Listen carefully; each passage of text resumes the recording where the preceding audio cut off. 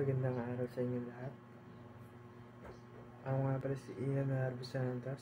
And nandito ako sa harap niyo upang sagutin ang tanong ng aking profesor na How blank kaya? Blank will present lower, middle, and higher class. So I choose middle class. Middle class kasi hindi naman kami ganun kahirap. Hindi din ganun kayaman. Kumbaga, steady lang. And, ang trabaho ng airpods ko is company driver. Yung airmates ko naman is nagbebenta ng mga bahay, lupa. Yan.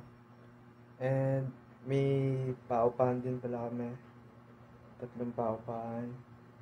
And, yun. Sabi, nasasabi, nasabi kong middle class ba kasi nakaka-survive kami. Makakain kami ng tatlong beses sa isang araw. And nasusunod, medyo nasusunod, sunod din naman kami sa luha pero hindi lagi.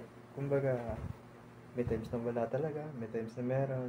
And yun, naranasan ko din naman talaga both sides.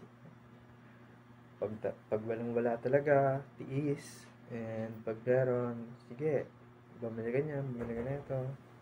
Yan, kumbaga, steady lang talaga. Laging magpasalamat. Magpasalamat kung nasan ka ngayon, kung anong meron ka ngayon. And, palagi mo laging palagi ka laging tumingin kung saan ka nang galing. Yun. Lagi mong dasal. Yun.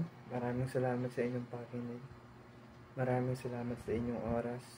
Maraming salamat sa inyong lahat.